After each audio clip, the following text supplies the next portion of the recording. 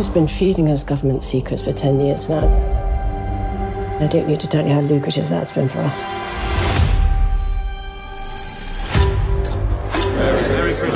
Anything you want to tell me? No?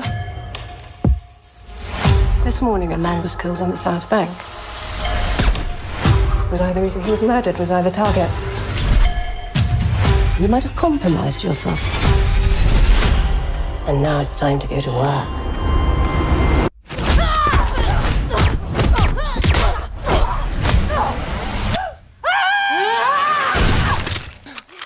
Hello, darling.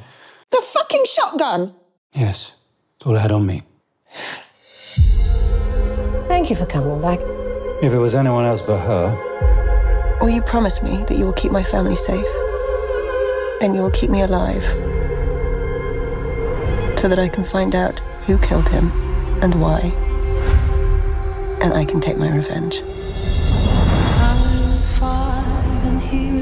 This is much bigger than we thought it was. You've used the threat of violence against my family. For the sake of your own personal well being, I really wouldn't again.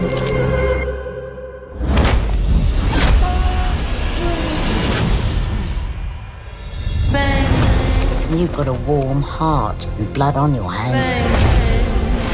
And that's not a good combination. We'll be all right, won't we? Probably. I left something up there.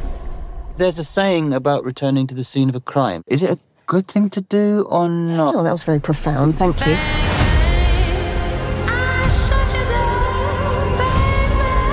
I was sent here to keep you alive, not drag you into a series of escalating gunfights. If you try and stop me, I will kill you myself.